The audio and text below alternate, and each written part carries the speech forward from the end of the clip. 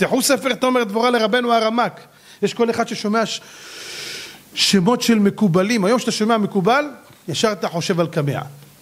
מה זה מקובל? קמע. ואם הוא שורף ניירות, נותן לך לשתות כמו סוטה, זה בכלל, זה מקובל גדול. ואם הוא נותן לך גם חול ו- ו- וחצץ ו- ו- ו- וכל מיני גרגירים של, של ברזל ועופרת לבלוע, זה בכלל. מה אנחנו חושבים במקובלים? מקובלים זה אנשים, אתם יודעים איך אנשים בודקים אותך? אנשים מתקשרים למשרד, הלו, שלום, הרב זר, וואו, אני מתרגשת, אתה יכול לפתוח לי בספר? דפי זהב? איזה ספר לפתוח לך? מה, אתה לא פותח בקבלה? אני יכול לפתוח לך את הקבלה שקניתי ביום שישי קניות בשפע. שו קבלה? על מה אנשים משוגעים היום? מה בלבולי מוח האלה? רבותיי, קבלה היום נהפכה להיות קרדום לחפור בה?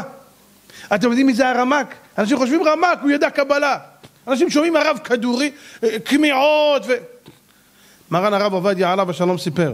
אומר, אני הייתי בתור ילד יושב אצל הרב כדורי, שהיה כבר זקן אז, כבר היה מבוגר. אני הייתי בתור ילד יושב, הרב כדורי יושב עם זקנים, כולם יושבים עם שולחן ערוך, פתוח, והוא יושב בלי ספר. הוא מתקן אותם בעל פה, הוא יודע את כל השולחן ערוך בעל פה.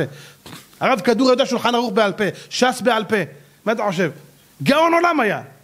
אנשים גדולים, מה חושבים, אתם יודעים, מה כותב קביעים? זה העניין. מה הקשקושים האלה? הרמק, עליו השלום, כתב ספר על מידות של בן אדם לחברו. מה הוא לקח את הספר הזה? תומר דבורה. מה זה? על המידות של הקדוש ברוך הוא, מי אל כמוך נושא עוון ועובר על פשע, לשארית נחלתו. כל מידה מה הקדוש ברוך הוא עושה ותלמד ממנו גם אתה. איך להיות.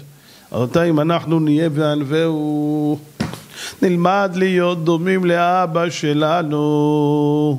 אנשים הולכים בראש השנה לעשות תשליך. ואומרים את כל השלוש עשרה מידות מי אל כמוך נושא עוון ועובר על פשע נשארית נחלתו לחזק לעד אפו כי חפץ חסד הוא ישוב רחמנו כמו שבתו תשליך משולת ומחלתם יפה מאוד אבל איפה אתה בתמונה אח שלי וענווהו? אני והוא תהיה כמוהו. לא זה לא בשבילי. ככה אנחנו רוצים גאולה